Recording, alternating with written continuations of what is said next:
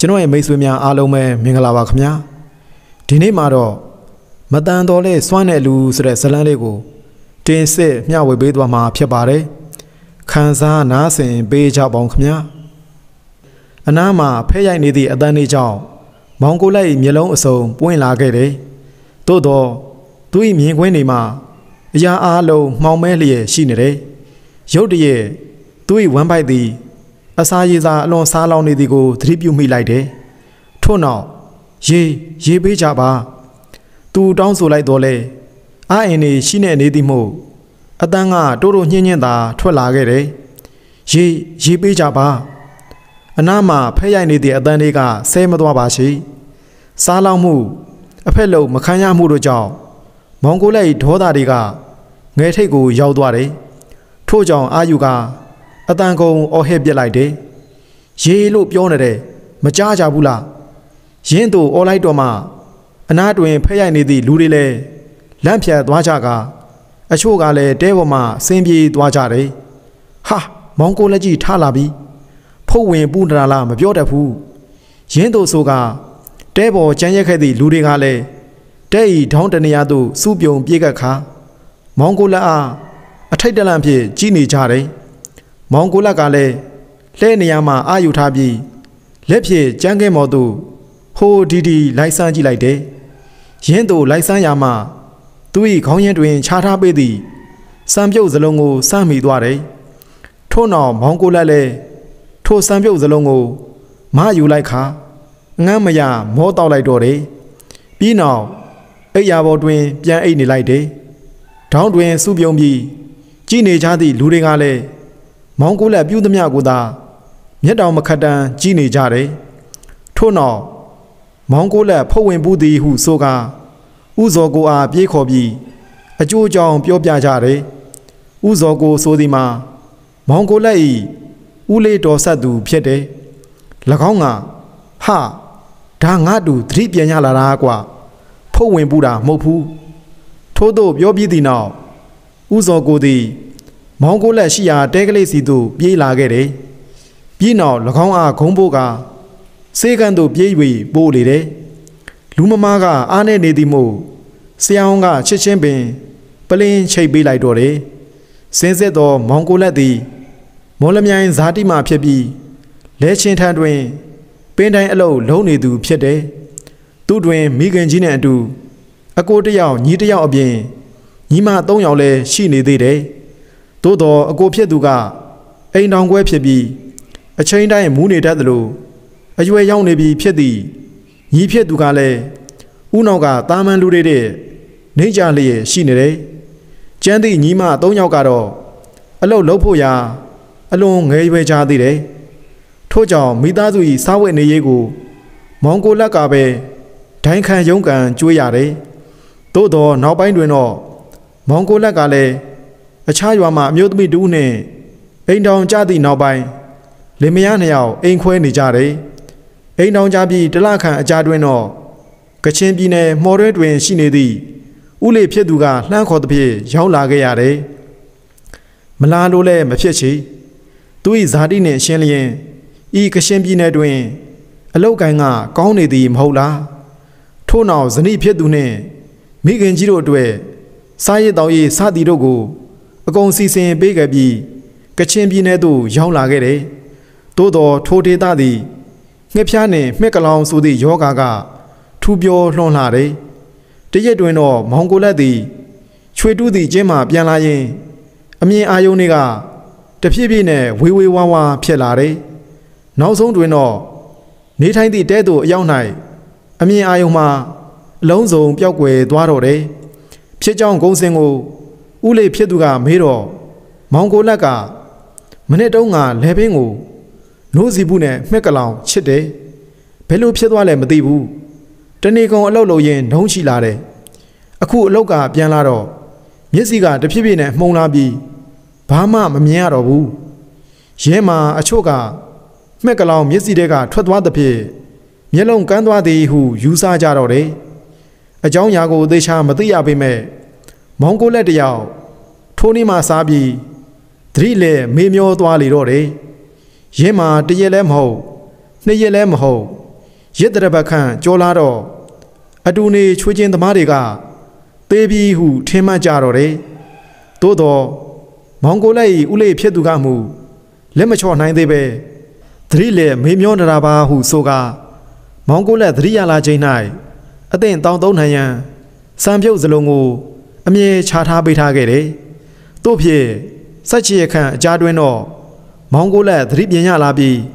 ဥလေဖြစ်သူချထားပေးသည်စံပြုတ်စလုံးကိုလက်ပြဲဆမ်းမိကငမ်းမရတောက်ခဲ့ခြင်းဖြစ်လေတော့တယ်။ယခုစေကန်းတွင်ပလင့်ချိတ်ပြီးသည့်နောက်မောင်ကိုလက်ထူထူထောင်ထောင်ပြန်ဖြစ်လာတယ်။သို့တော်မျက်စိမှမူပြန်မကောင်းလာတော့သည်မို့ဥလေဖြစ်သူကကဲမောင်ကိုလက်ရေ မင်းအိမ်ပြန်ပြီးအနာယူတော့ကွာတိုးတိုးဆိုပြီးသူကိုယ်တိုင်မော်လမြိုင်မှအိမ်အထိရောက်အောင်လိုက်ပို့ပေးလေတော့တယ်မောင်ကုလအိမ်သို့ပြန်ရောက်လာတော့ဇနီးဖြစ်သူမန်နွယ်ဝင်းကမကြည်ပြူတော့ချေထို့ကြောင့်စိတ်ပြစ်လိုက်တာအလုတ်သွားလုတ်တာပိုက်ဆံပါမလားပဲမျက်လုံးသာကန်းလာတယ်ဒီအကန်းနဲ့ဘယ်လိုချစ်စရာမလဲမသိဘူးထို့သို့ဆိုကမောင်ကိုလက်ကိုဤအတိုင်းပြစ်ထားလိုက်တယ် ရင်းတို့ပြစ်ထားသည်ကို မောင်ကိုလက်၏မိခင်သိတော့အိမ်သို့ပြန်ခေါ်ထားလိုက်တယ်အိမ်ဆိုသည်မှာလဲသူတစ်ပတ်၏ဝိုင်းထဲတွင် တောင်းမှန်ခရပြီးစောက်ထားသည်တဲကလေးမျှသာဖြစ်တယ်တို့ဖြစ်မိခင်ကြီးတဲကလေးတဲ့တွင်သားသုံးယောက်နဲ့သမီးသုံးယောက်စုံစုံလင်းလင်းပြန်ဖြစ်လာတယ်သို့တော့ဆိုလေခဲပြီးသည့်အတိုင်းအကြီးဆုံးသားဖြစ်သူဝင်းမင်းမှာအချိန်တိုင်းမူးနေသလို တတ္တိယမြောက်သားကလည်းညံမမီသူဖြစ်နေတယ်ယခုမောင်ကိုလက်ကပါ အကန့်ဖြစ်နေလေတော့မိသားစု9ယောက်ဤစားဝတ်နေရေးကိုမိခင်ကြီးကပဲဒိုင်းခံရုန်းကန်နေရတော့တယ်တစ်ဖက်တွင်ကြမ်းခဲ့သည့်ဇနီးဖြစ်သူမန်နွယ်ဝင်းကလည်းနောက်အိမ်တော်ပြူသွားပြန်တယ်ထိုအကြောင်းကိုသိရတော့မောင်ကိုလက်လည်းစိတ်ဓာတ်ဒီပါကြားသွားပြီးဓမိုင်းမိုင်းတွေတွေဖြစ်လာတော့တယ်သို့တော့ မိသားစု9ယောက်ဤစားဝတ်နေရေးအတွေ့ရုန်းကန်နေရသည့်မိခင်ကြီးအဖြစ်ကိုသိရတော့မောင်ကိုလက်လည်းမနေသားတော့ချေထို့ကြောင့်ညီမငယ်ကိုပြောလိုက်တယ်ကဲမြတ်မွန်ငါတို့ရွာအပြင်ကချောင်းမှာပစုံသွားထောင်ရအောင်ရင်းသူပြောလိုက်တော့မြတ်မွန်ကဟင်ဘဲသူထောင်မှာလဲညီမတော့မရဘူးနော်အဲ့ဒီချောင်းကလူကြီးတရမြုပ်တယ်ငါပဲထောင်မှာပေါ့ဟာဖြစ်ပါမလားကိုကြီးရဲ့ ဩလာစမ်းပါဆိုမောင်ကိုလက်ကစိတ်အားထက်သန်နေသဖြင့်မျက်မွန်လဲပစုံထောင်းသည့်ပိုက်ကိုယူပြီးမောင်ကိုလက်ကိုပေးလိုက်တယ်မောင်ကိုလက်လည်းပိုက်ကိုပခုံးပေါ်တင်းလိုက်တယ်မျက်မွန်ကရေပုံးတပုံးကိုလက်မဆွဲကရှေ့ကသွားတယ်မောင်ကိုလက်ကမျက်မွန်၏ပခုံးပေါ်လက်တင်ပြီး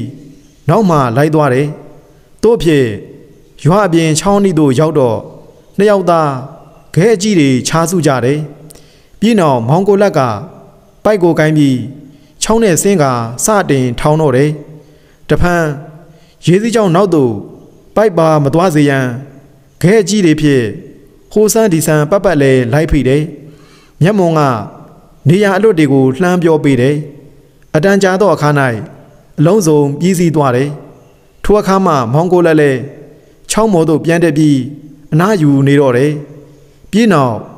ပိုက်ကုံကိုပြန်ဆွဲယူလိုက်တယ်မျက်မွန်ကဟဲပစုံနေအများကြီးပါလာတဲ့ကိုကြီးကောက်ကောက်ထပ်ပြီးထောင်ရအောင်ပဲမျက်မွန်လဲပိုက်ထဲမှာပစုံတွေကိုကောက်ခါ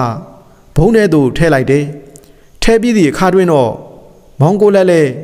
ချောင်းထဲသို့ပြန်ဆင်းပြီးပိုက်ထောင်ပြန်တယ်ရေစီးချောင်းနဲ့ပိုက်ပါမသွားစေရန်ခဲတွေဖြစ်ဖိရပြန်တယ်မျက်မွန်ကလည်းလက်ဟာမှုမရှိစေရန် ချောင်းပေါ်မှာလှမ်းပြောနေရတယ်အတန်ကြာသောအခါ၌အလုံးစုံပြီးစီးသွားသောအခါခဏနားပြီးပိုက်ကိုဆွဲတင်ရပစုံတွေထပ်မံပါလာပြန်တယ်တို့ဖြစ်ပိုက်ကိုချလိုက်ခဲဖိပြီးစောင့်လိုက်ပြန်ဆွဲတင်လိုက်ဖြစ်လှုပ်ခဲ့ရမုန်းတဲ့ချိန်ရောက်တော့ပစုံတွေလည်းတပိတ်သာခန့်ရလိုက်တယ်ထို့နောက်ပစုံတွေကိုဈေးသို့သွားရောက်ပြီးရရှိသည့်ငွေများအားစံစီစစသည်တို့ကိုဝဲပြီး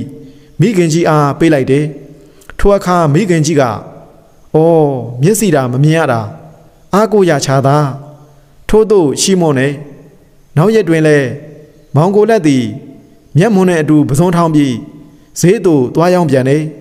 ရလာသည့်ငွေတွေကိုလည်းမိခင်ကြီးလက်ထဲသို့သာထည့်ပေးလိုက်တယ်မောင်ကိုလက်ရင်းသို့နေစဉ်ပစွန်းထောင်းပြီးရောင်းတော့နောက်ပိုင်းဖောက်တယ်တွေပါရလာတယ်ဖောက်တယ်တွေရလာလေလေ မောင်ကိုလက်လည်းလှုပ်ပိုးကြိုးစားရလေဖြစ်လာတယ်ရံဖန်ရံခါဆိုလျင်မနဲ့မိုးလင်းပြီဆိုသည်နှင့်ချောင်းတို့ရောက်နေပြီးပစွန်းထောင်းနေတတ်တယ်ရင်းမှာညနေစောင်းသည့်တိုင်အောင်ထမင်းမေဟင်းမေဖြစ်နေတတ်တယ်ထိုအခါညီမဖြစ်သူမျက်မုံကနားကြကြအောင်ဟုတရေဆက်ပြောနေမှနားပြတယ်နောက်ပိုင်းတွင် မောင်ကိုလက်သည်ချောင်းဤအနီး၌ပင် နားကိုရန်အတွက်တဲတလုံးထိုးလိုက်တယ် တက်ကိုသူကိုယ်တိုင်ခုတ်ပြီးတဲကိုသူကိုယ်တိုင်ထိုးခြင်းဖြစ်တယ်နောက်ထပ်အံ့ဩစရာတွေရှိနေသေးတယ်ရင်းမှာထမ်းပင်တခြင်းဖြစ်တယ်ဟုတ်တယ်ပဇွန်ချပါသည့်ရစ်တွေဆိုမောင်ကိုလက်သည်တခြားတစ်ဖက်မှဝင်ငွေရရှိစေရန်အတွက်ခါကြတဲ့ဓာတ်ထုတ်ကထမ်းပင်ပေါ်တက်တယ်ညီမဖြစ်သူမျက်မှောင်ကလည်းအပင်အောက်မှနေ၍တရက်ဆက်အော်ပြောညွှန်ကြားပေးတယ်တက်တက်ကိုကြီးငါးပေလောက်လိုသေးတယ် မောင်ကိုလက်လည်းစစ်တက်တယ်တို့ဖြစ်ထမ်းသီးတွေအနားသို့ရောက်တော့မျက်မှောင်ကရပြီဟုအော်ပြောလိုက်တယ်ပြီးနောက်ခေါင်းရဲ့အထက်ညာဘက်မှာတတွဲခုတ်လိုက်ရင်းသူအော်ပြောလိုက်တော့မောင်ကိုလက်လည်းလက်ဖြင့်စမ်းကြည့်လိုက်ပြီးဒီအတွဲလားဟာဟုတ်တယ်အဲ့ဒီအတွဲပဲမောင်ကိုလက်လည်းထမ်းသည့်အခိုင်ကိုဓားဖြင့်ဖြည်းဖြည်းချင်းခုတ်ချတယ်ပြက်လူနီးပါဖြစ်လျင်လက်ပြချိုးက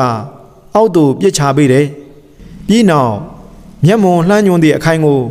လက်ပြဆန်း၍ခုတ်ပြန်တယ်ပြည်လျင်ပြစ်ချပေးတယ်ရွာလူတွေကလည်းမျက်မမြင်သည့်လူကထမ်းသည့်တက်ခုတ်သည်ဆိုတော့တန်တော်ဖြင့်လာကြည့်ကြတယ်အမျိုးမျိုးချီးမွမ်းကြတယ်အတန်ကြာအောင်ခုတ်ပြီးသည့်နောက်ထမ်းပင်ပေါ်မှပြန်ဆင်းကနှစ်ယောက်သားဈေးသို့သွားရောက်ကြတယ်မျက်စိမမြင်ရတော့လဲထို့သောစိတ်သက်တာမာလွန်းသောကြောင့် တိန်တဲတွင် တူနေသည့်အကိုကြီးကိုကြောကအိမ်တွင်အစစအရာရာစီမံခန့်ခွဲသူ ဖြစ်လာခဲ့တယ်မမြင်ရတော့လဲအလွန်အားကိုးရသည့်တားတယောက်ဖြစ်သည်မို့မိခင်ကြီးကလည်းမောင်းကိုလက်မျက်စိပြန်မြင်စေရန်အတွက်ပယောကဆရာတွေထံသွားပြီးအကူကြီးတောင်းကြည့်တယ်ဆရာတွေကလည်းတွေ့ချင်ပြီးမြေပုတ်ဘလူအစာကျွေးရမည်ဟုဟောပြီးပွဲတင်ရန်ပြောလိုက်တယ်သို့တော့ပွဲတင်ရန်အတွက် ငွေ9000ကျပ်ကုန်ပြီဖြစ်ရာလက်ထဲတွင်လည်းမရှိသဖြင့်အိမ်ဒီနားကျင်နေထံလိုက်ရှိကြည့်တယ်မြည်သူမှမရှိငှကြချေအိမ်တွင်လည်းပေါင်းနှံစရာကမရှိသည်မို့ဤအတိုင်းလက်ချော်၍နေလိုက်ရတော့တယ်ဒီနေ့တွင်တော့မဲဆောက်တွင်ရှိသည့်တထေဖြစ်သူဥထိန်ဝင်းတယောက်ရွာသို့ပြန်ရောက်လာတယ်၎င်းသည်လည်းမောင်ကိုလက်တို့ရွာမှဖြစ်ပြီးမဲဆောက်တွင် ကြီးပွားချမ်းသာသူတယောက်ဖြစ်နေတယ်ဥထိန်ဝင်းသည်အိမ်တွင်တလခန့်သာနေပြီးမဲဆောက်သို့ပြန်ကာနီး၌မောင်ကိုလက်၏မိခင်ကြီးကိုဝင်လာ၍ပြောတယ်ကျွန်တော်မဲဆောက်မှာအတော်အသားကိုမျက်စိခွဲစိတ်ပေးဖို့ခေါ်သွားခြင်းနဲ့သဘောတူနိုင်မလားဗျထိုးစကားကြောင့်မိခင်ကြီးရောမောင်ကိုလက်ပါအံ့ဩဝမ်းသာသွားကြတယ်ဟာတူတာပေါ့ကျေးဇူးကြီးလာပါတယ်ငါတူရဲ့ထို့နောက်ဥထိန်ဝင်းလဲ မောင်ကိုလက်ဘက်သို့လှည့်ပြီးကဲမောင်ကိုလက်အစင်သိနာပြင်းထားတော့ညနေလာခေါ်မယ်ဟုတ်ဟုတ်ကဲ့ပြင်းထားပါမယ်ကျေးဇူးလည်းအများကြီးတင်ပါတယ်ဗျာမလိုပါဘူးကွာကိုရွာသားချင်းပဲကဲသွားပြီဟုတ်ကဲ့ပါဗျာဥထိန်ဝင်းပြန်ထွက်သွားတယ်မောင်ကိုလက်တို့သားမိလဲပြောချွင်းသွားဖြစ်ကြမ်းရက်ခဲ့တယ်ပြီးတော့မျက်စိကောင်းလာရင်မြည်တို့စူးစမ်းရုန်းကန်ပြီးဘ ဝကိုစနစ်တကျပြန်တီးဆောက်ဖို့မောင်ကိုလက်အကြည့်အကျယ်စိတ်ကူးရင်နေမိတော့တယ်တို့ဖြစ်ညနေဆောင်အချိန်ကိုရောက်လာတော့ဥထိန်ဝင်းကလာခေါ်သဖြင့်မောင်ကိုလက်လည်းအထုပ်ဆွဲကမဲဆောက်သို့လိုက်ပါလာခဲ့တော့တယ်မဲဆောက်သို့ရောက်ပြီးသည့်နောက်မောင်ကိုလက်အားမျက်စိခွဲစိတ်ရန်အတွက်ကျောင်းသားစေယုံသို့လိုက်ပို့ပေးတယ်ဖြစ်ချင်တော့စေယုံတွင် မြစ်ကြီးလွားကအစင်းသင်းမရှိသေးရှိ ထို့နောက်ဥထိန်ဝင်းကကဲမောင်ကိုလက်ရေးမြစ်ကြီးလွားကမရှိသေးဘူးတဲ့ဒီတော့ငါအိမ်မှာပဲနေပြီးအလူချင်းပေါ်လာတဲ့အထိစောင့်ရတာပေါ့ကွာထို့သို့ဆိုသဖြင့်မောင်ကိုလက်ကလည်းလက်ခံလိုက်ရတယ်တို့ဖြင့်မောင်ကိုလက်သည်ဥထိန်ဝင်း၏အိမ်၌သာနေထိုင်ပြီးမြစ်ကြီးလွားအလူချင်းကိုစောင့်ရတော့တယ်သို့တော့ရက်တွေလားတွေသာကြားလာခဲ့တယ်မြစ်ကြီးလွာအလူချင်းကပေါ်မလာသေးချေဥထိန်ဝင်းကလည်း လွန်သဘောကောင်းရှာတယ်မောင်ကိုလက်ကိုအိမ်၌သာနေစေပြီးစားရည်တောက်ရည်ကျမ်းမာရေးနှင့်အတုံးလိုသည့်ငွေများကအစအကုန်တောင်းဝင်ယူပေးတယ်ကြားလာတော့မောင်ကိုလက်လည်းဥထိန်ဝင်းကိုအာနာလာမိတယ်ထို့နောက်ရက်ွက်ထဲမှာလူတွေကိုလိုက်လံနှိပ်ပေးပြီးသူ့ရဲ့အသုံးစရိတ်အတွက်ပိုက်ဆံချတော့တယ်မဆိုးလာချီတရက်လျင်ဘတ်90တရားရတယ်မူလကဥထိန်ဝင်းက ထိုးတော့မလုပ်ရန်အသုံးစရိတ်ကိုသူထုတ်ပေးမည်ဟု ပြောဆိုတားမြစ်ခဲ့တော်လဲမောင်ကိုလိုက်၏စိတ်ရထက်သန်မှုကိုလက်ချော်ထားလိုက်ရတယ်တို့ဖြင့်လာတွေတလားပြည့်တလားကုန်ခဲ့ရ၌နောက်ဆုံးတစ်ထည့်ဝင်းကျင်ခန့်ရောက်လာခဲ့တယ်ဒီနေ့တွင်တော့မောင်ကိုလက်တွေမြစ်ကြီးလွာအလူချင်းပေါ်လာပြီဖြစ်ကြောင်းစေယုံကသတင်းလာဖို့တယ်မောင်ကိုလက်ရောဥထိန်ဝင်းမှာပျော်ရွှင်သွားကြရတယ် ထို့နောက်ဥထိန်ဝင်းကကဲမောင်ကိုလက်ကြီးမင်းရောငါရောမျောတဲ့ရက်ကိုရောက်လာပြီမနေ့ဖြန်ငါတို့တွေစေယုံကိုသွားကြရအောင်ဟုတ်ကဲ့ဥလိထိန်ဝင်းထို့နောက်မောင်ကြီးစားလဲတဖြည်းဖြည်းပြိုးလာပြီမို့မောင်ကိုလက်လဲအိယာခတ်စောစောဝင်လာခဲ့တယ်သို့တော့အပျော်လွန်နေသောကြောင့်မောင်ကိုလက်တယောက်တော်တော်နဲ့အိတ်မပြောနိုင်ပဲနည်းနည်း၃နာရီခန့်မှအိပ်ပျော်သွားခဲ့တယ်။ ရင်းသူအိပ်ပျော်သွားခိုက်တွင်မောင်ကိုလက်သည်အိမ်မက်တစ်ခုကိုမြင်မဲ့မိတယ်။အိမ်မက်ထဲတွင်မွေးတကောင်းကမောင်ကိုလက်၏နောက်သို့လိုက်လာတယ်။မောင်ကိုလက်ကလည်းထွက်ပြေးနေရတယ်။ပြေးသည့်နေရာတွေကလည်းစုံလင်လာတယ်။ရုပ်စွာဆုံးလူတွေထူထပ်သည့်ဂျားတဲ့သို့ပင်ဝင်ပြေးခဲ့တယ်။သို့တော်မွေးကလည်းထက်ကြမကွာလိုက်နေတယ်။နောက်ဆုံးတွင်တော့မောင်ကိုလက်ကိုမှီးသွားပြီးခန္ဓာကိုယ်ပေါ်သို့တက်ခါ မျက်လုံးနှလုံးစလုံးကိုကိုက်၍ဖြစ်စည်းသွားတယ်။ရင်းအချိန်၌ပင် မောင်ကိုလက်လည်းအိယာမှလန်နိုးလာခဲ့တယ်။ထို့နောက်အိမ်မက်ကိုပြန်တွေ့မိပြီးမျက်လုံးပြန်ကောင်းနိုင်ရဲ့အတွက်စိုးရိမ်စိတ်တွေဝင်လာမိတယ်။ပြီးတော့ယနေ့သည်သူ့အတွက်မြစ်ကြီးလွာအလူချင်းရောက်လာသည်ဆိုပေမဲ့မောင်ကိုလက်မှာထိုအိမ်မက်ကြောင့်မျောလင့်ချေကင်းမဲ့လျက်ရှိနေတယ်။တို့ဖြစ်မနေ့ပြန်ရောက်လာတော့ဥထိန်ဝင်းက ကဲမောင်ကိုလက်ကြီးစေးရုံကိုသွားတော့မယ်ရေးမြန်မြန်ချိုးရအောင်ဟုတ်ကဲ့ဦးလေးမောင်ကိုလက်လည်းဥထိန်ဝင်းနဲ့အတူရေးချိုးကဝက်စားလဲလိုက်တယ်ပြီးနောက်စေးရုံတို့ကားဖြင့်ထွက်လာခဲ့ကြတယ်စေးရုံတို့ရောက်တော့ဥထိန်ဝင်းကဆရာဝန်နဲ့စကားပြောနေတယ်နှစ်ယောက်သားထိုင်းလိုပြောနေကြသဖြင့်မောင်ကိုလက်မှလည်းတလုံးမှနားမလဲသည်မို့ဤအတိုင်းသာငြိမ်နေလိုက်ရတယ်ခက်တာကြား၌ နှစ်ယောက်သားစကားပြောပြီးသည့်နောက်ဥထေဝင်းကတပြင်းချေကြီးချလိုက်ပြီးမောင်ကိုလက်ကိုပြောတယ်မောင်ကိုလက်ကြီးမင်းအတွက်စိတ်မကောင်းလိုက်တာဗျာဘာဖြစ်လို့လဲဗျ